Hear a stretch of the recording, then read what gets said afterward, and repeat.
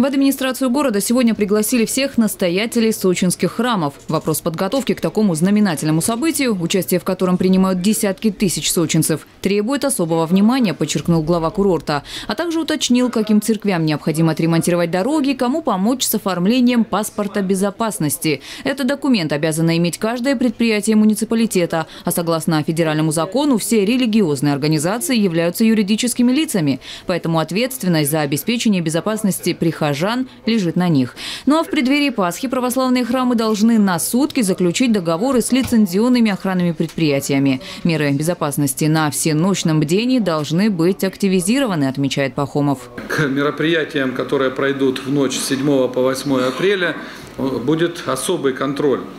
Э, я предполагаю, что в этих ночных событиях будут принимать участие где-то порядка 60 тысяч верующих. Поэтому мы вот собрались вместе, в том числе с полицией, чтобы заблаговременно предусмотреть все мероприятия. Здесь казачество присутствует, полиция.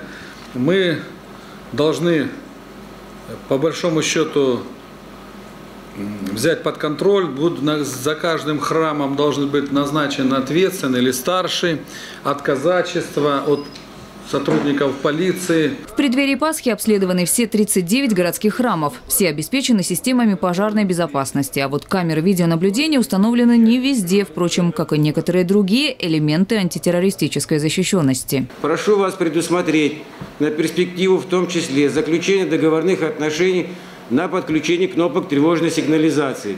Это прямые рекомендации антитеррористической комиссии города и оперативной группы города. Глава города подчеркнул, что в решении этих вопросов поможет муниципалитет. Сама же церковь напоминает, что готовиться к светлому празднику должны и сами верующие, причем не только с духовной точки зрения. Традиционно э, люди готовят не только свои тела к встрече с воскресшим Христом, не только свои жилища, но также мы вспоминаем и наших усопших. Мы призываем всех православных христиан, всех верных чад Русской Православной Церкви привести на Страстной Седмице, привести могилы своих усопших в надлежащий вид. В течение недели на городских погостах будут обрезать деревья и сухие растения, вывозить мусор. А 31 марта решено объявить общегородским субботником. В этот день у кладбищ будут установлены дополнительные контейнеры для мусора. Инга Габешия, Николай Тихонов, телекомпания «ФКТ».